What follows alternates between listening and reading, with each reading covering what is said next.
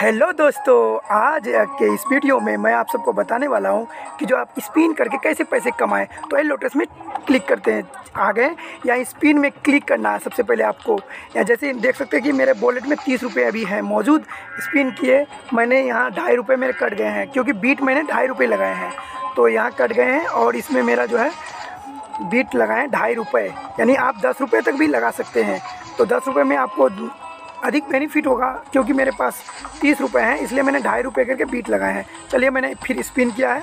Spin करते क्या देखते हैं, क्या होता देखिए। चलिए फिर दोबारा स्पिन करते हैं।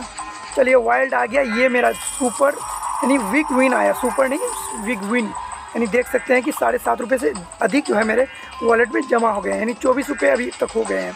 उसके बाद फिर आइए स्पिन करते हैं। यहाँ देखिए, साढ़े तीन रुपये फिर मेरे अकाउंट में, यानी वॉलेट में जमा हो गए हैं। उसके फिर स्पिन किए साठ पैसे।